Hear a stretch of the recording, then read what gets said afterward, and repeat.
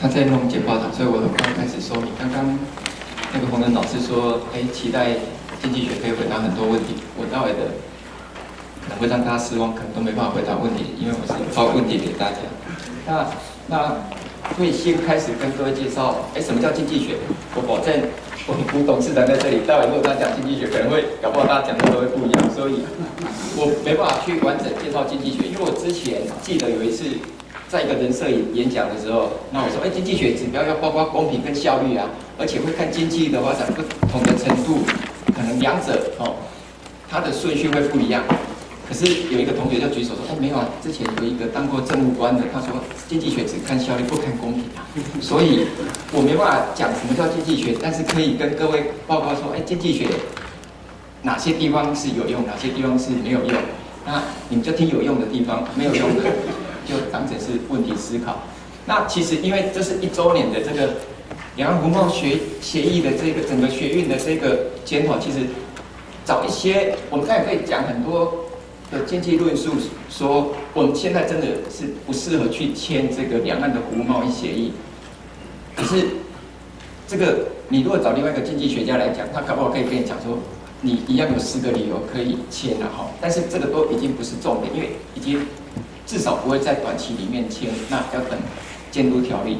那我比较想要跟各位来思考的是说，哎，那这个可能短期不会签，可是后续还有更多的贸易自由化的协定，比如说 WTO 最近的新回合谈判又有一个新的结果，WTO 是一个所谓的多边，所有大部分全世界的经济体都参加的。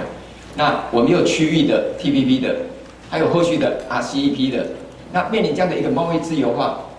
那我们的态度到底是怎么样？或者是说，在同样的这些贸易自由化的趋势底下，那怎么去看这一个两岸的这个贸易？吼，我想或许都可以来思考。所以大概可能会抛这些问题。那比较重要就是说，我还会顺便检讨我们自己的经济理论。哈，有时候经济理论不一定是正确，因为它有背后太多的假设。比如说，他都会讲说，其他条件都不变，那只要中国跟韩国签 FTA，我们就会损失多少？问题是其他条件会不变吗？其他条件当然会变啊，我们的汇率当然就变化很多啊。所以问题是，当各位在听这个经济学的时候，其实我会觉得，因为现在的国际经济的情势太复杂，我坦白讲，我们的经济学大概很多的理论都是要修正的，所以大概有一些的理论的这个修正，或是我们自己要检讨自己的，也给各位参考。这样的话，有助于将来如果万一某些经济学家当政务官，他在讲的话的时候，你或许就可以。拿来思考说这样讲的话到底对不对？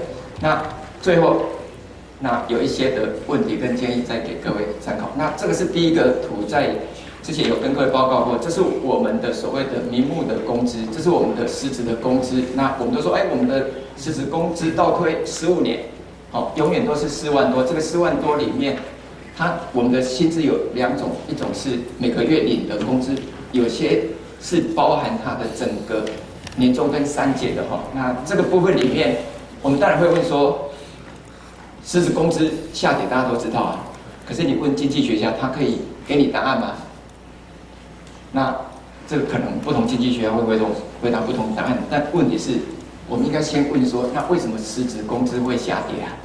找到原因的时候，可能会比较容易找到答案嘛。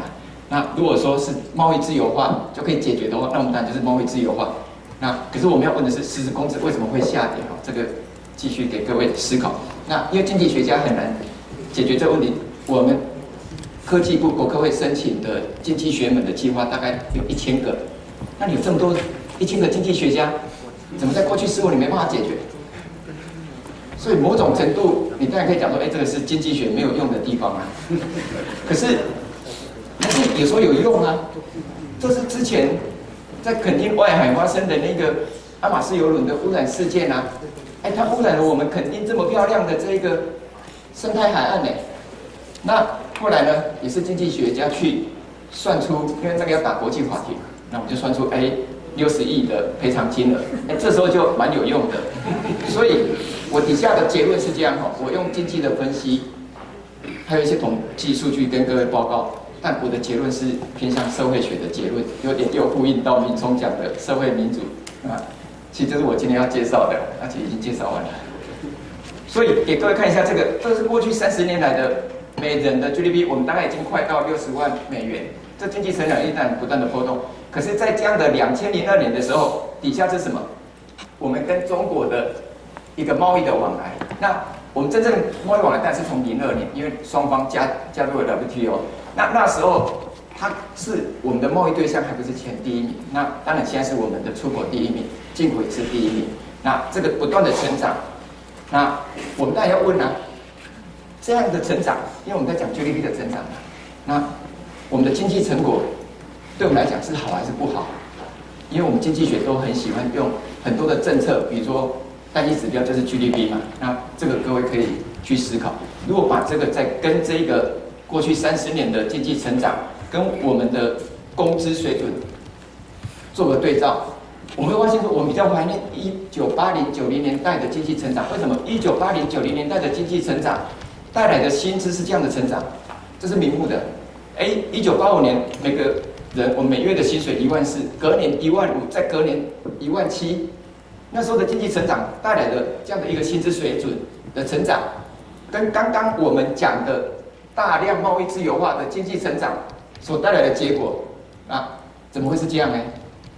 那我们当然会问啊，是贸易自由化不好吗？答案绝对不是啊，是看你跟谁贸易自由啊。那这个由各位去思考。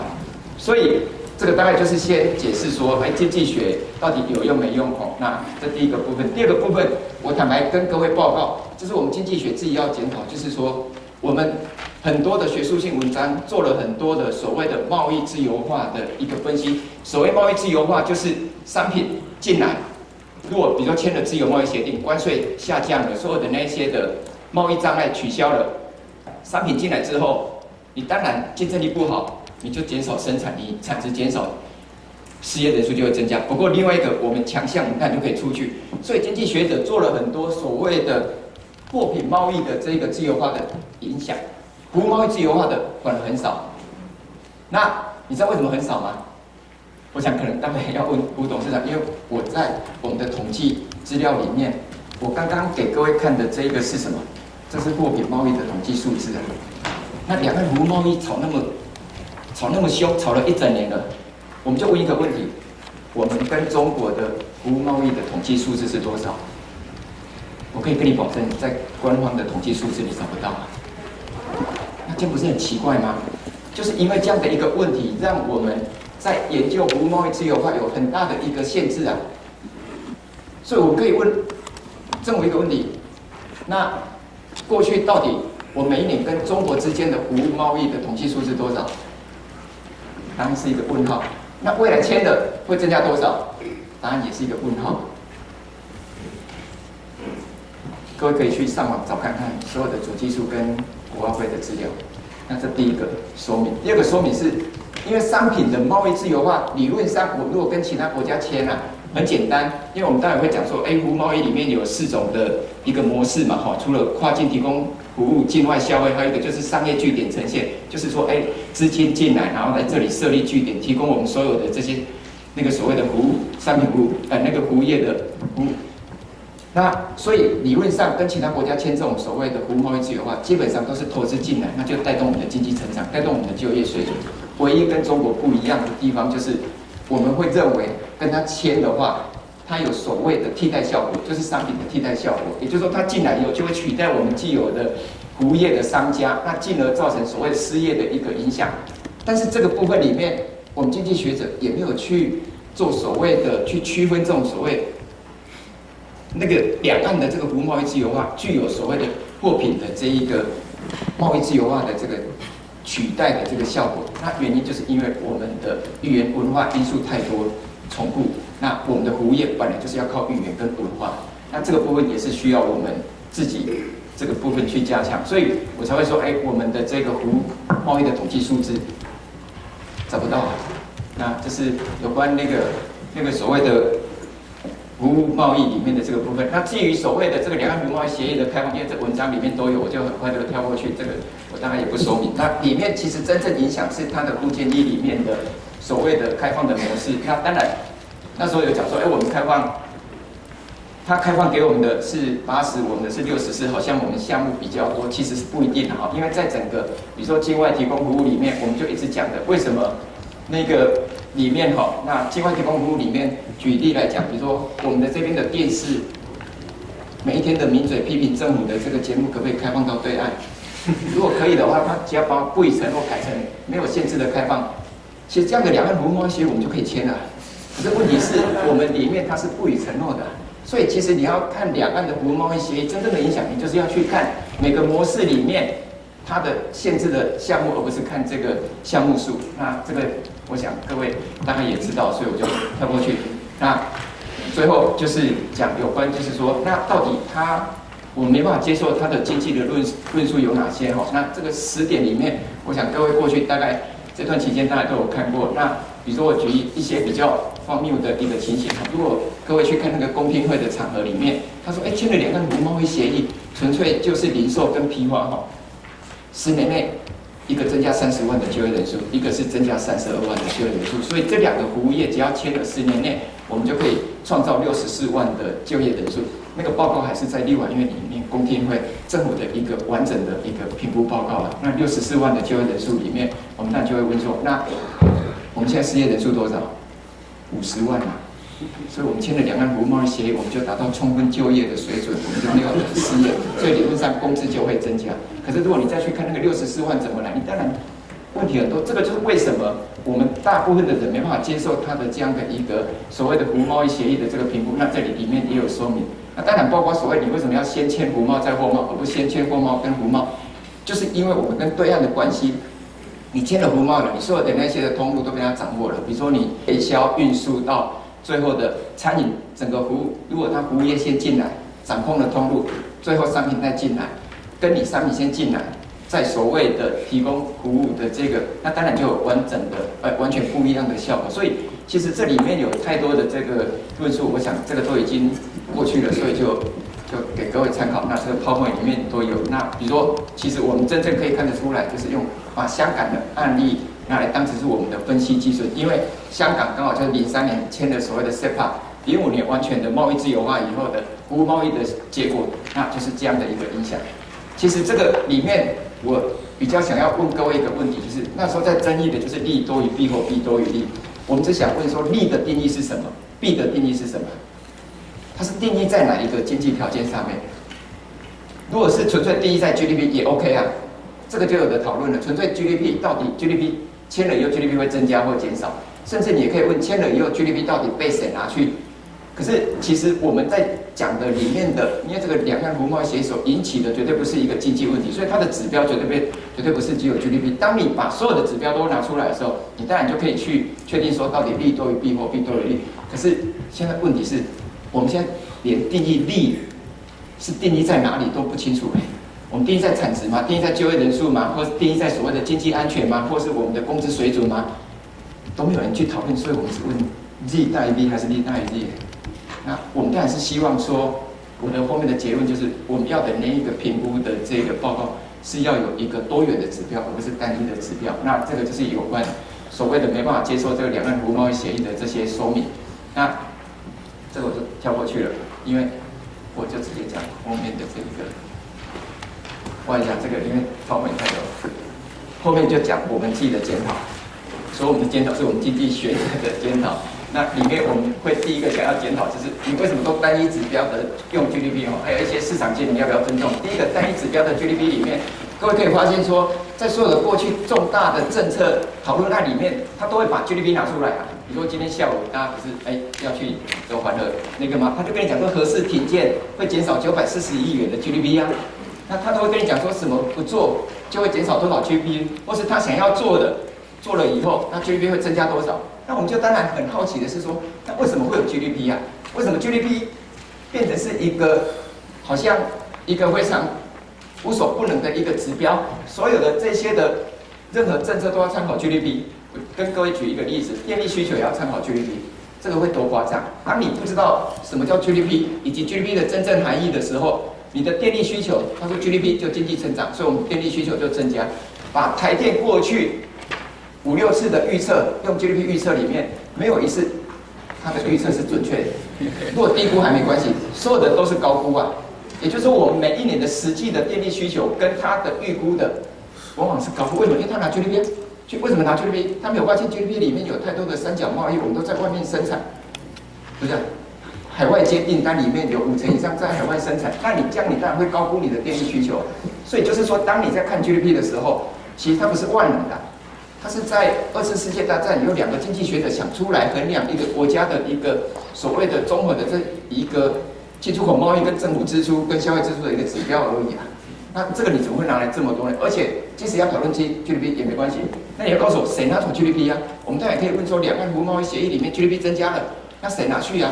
那这个拿去的这个图，当然各位可以很明显的发现说，在过去的这样的一个十五六年来的这个年代里面，我们的薪资就是我们这样大部分在座的受雇的人员拿的 GDP 比例减少。但是企业盈余在增加，所以这个是谁拿走 GDP 的一个问题。你还可以问一个，就是好，那你即使要看 GDP，不管谁拿走，我们就问说，那你产生一块 GDP，你要为我们国家的多少的能源，就是所谓的效率里面的 input output。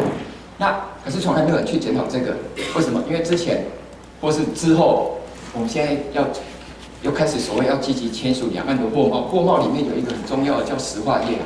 各位，石化业占全国的 GDP 四 percent。